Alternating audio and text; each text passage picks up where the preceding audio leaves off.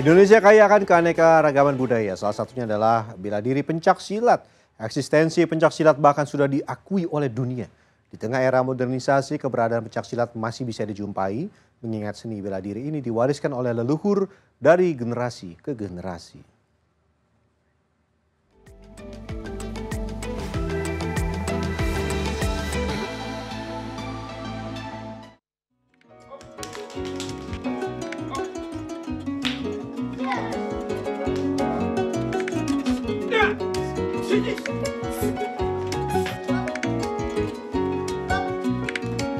Pencak silat merupakan salah satu budaya sekaligus seni bela diri asli Nusantara yang keberadaannya diperkirakan sudah ada sejak berabad-abad lalu.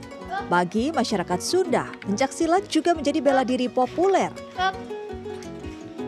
Hingga kini masih terdapat sejumlah padepokan atau tempat latihan pencak silat yang bisa ditemui. Salah satunya adalah padepokan di Kampung Sekepicung, Bandung. maju.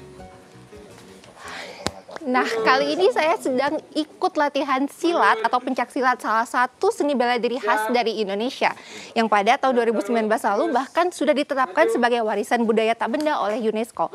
Meskipun di tengah era modernisasi ternyata masih banyak padepokan pencak silat yang masih terus melatih para muridnya untuk melestarikan pencak silat ini. Oke. Yuk. Padepokan Sekepicung didirikan atas inisiatif warga setempat, termasuk Jejen Jainuddin. Pria berusia 31 tahun ini tergerak untuk mengajarkan pencak silat sebagai alternatif kegiatan bermanfaat bagi generasi muda yang saat ini sering kali disibukkan dengan gawai. Jejen sendiri sudah menyukai pencak silat sejak remaja. Apalagi keluarga dan leluhurnya juga memiliki latar belakang penguasaan pencak silat. Saat ini Padepokan Sekepicung memiliki lebih dari 20 murid dari mulai anak-anak hingga remaja. Satu hingga dua kali dalam seminggu mereka berlatih di Padepokan yang berada di tengah kampung Sekepicung. Beragam gerakan silat diajarkan, baik gerakan pencak silat seni hingga gerakan tanding. Menurutnya, untuk menguasai gerakan dasar pencak silat rata-rata dibutuhkan waktu sekitar dua bulan dengan latihan yang benar. Tumit belakang harus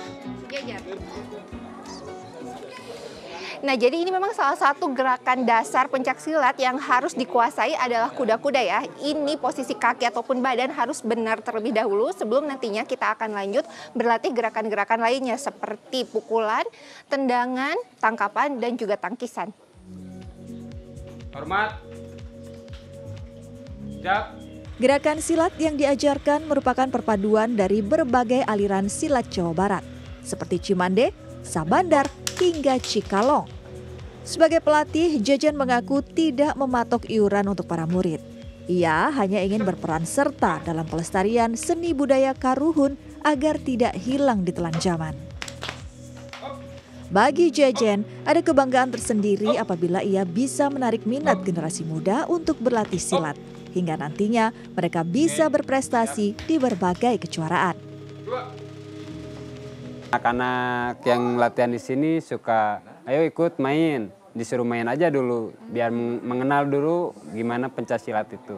Kalau misalnya udah mengenal, terus sudah pada kenal juga sama anak-anaknya, nah di situ biasanya ada ketertarikan-ketertarikan untuk berlatih pencaksilat. Gitu.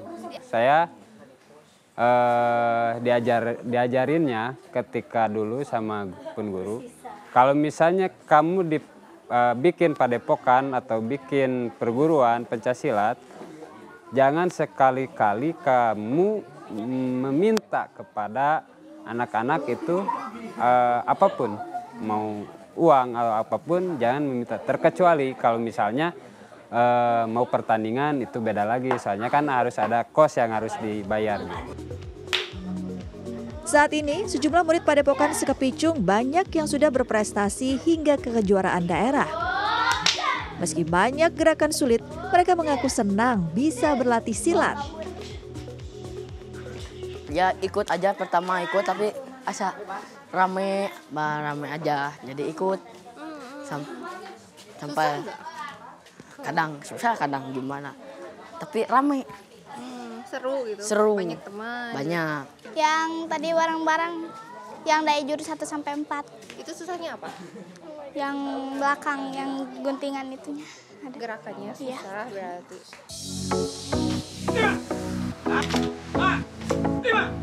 Tempat lain yang masih mengajarkan pencak silat adalah Padepokan Panglipur Sari Putra yang berada di kawasan Batu Nunggal Bandung. Meski berada di dalam gang kecil, tempat ini memiliki hampir 100 murid anak-anak dan remaja yang biasanya berlatih silat pada malam hari. Padepokan ini lebih menekankan pada aspek seni pencak silat dalam latihannya, yakni perwujudan gerak dan irama.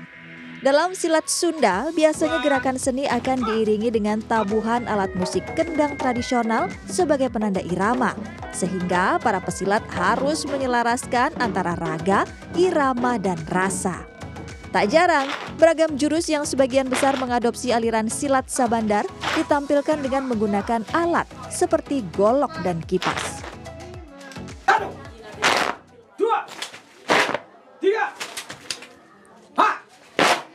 Dalam pencak silat tidak hanya ada gerakan tanding, namun juga ada gerakan seni. Salah satunya yang menggunakan kipas ini.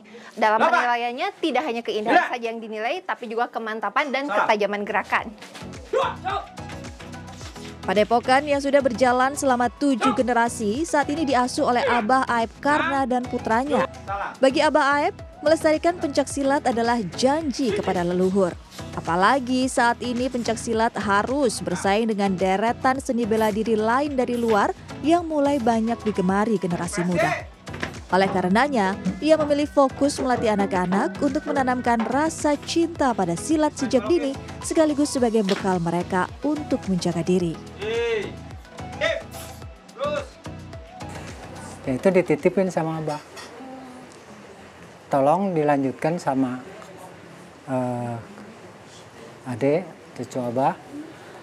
Jangan sampai seni ini sampai istilahnya hilang. cuman yang dititipinya cuman seninya aja. Jadi abah eh, sesudah itu abah mendidik anak-anak sampai beberapa generasi berdiri eh, hilang berdiri hilang karena terus terang aja tidak ada yang mendukung. Dari pertama mendidik itu tidak tidak ada yang mendukung kesenian ini. Abah lanjut aja karena dititipin sama kakek abah. Kalau barang titipan jangan hilang kan? Nah sampai abah dari tahun 68 sampai sekarang kesenian ini tuh terus berlanjut Dalam mengasuh padepokan, Abah Aep tidak mewajibkan muridnya membayar iuran. Namun seiring banyaknya prestasi yang diperoleh, bantuan dari donatur datang semakin sering untuk keberlangsungan padepokan. Sejumlah murid padepokan pun mengaku mendapat beragam manfaat dengan berlatih silat. Kalau yang ke satu percaya diri, lebih percaya diri aja weh. Jadi kalau misalkan eh, tampil gitu kan buat meningkatkan ke- kepercayaan diri. ingin bela diri terus eh, ingin prestasi juga serta ingin melestarikan budaya Sunda Tahu ya silat emang Ya. khasnya Sunda gitu.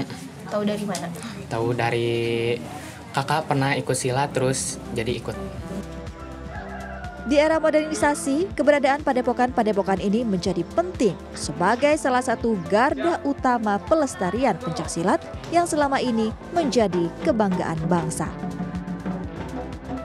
Laisa Nisa, Rusman Rusmana, Bandung, Jawa Barat.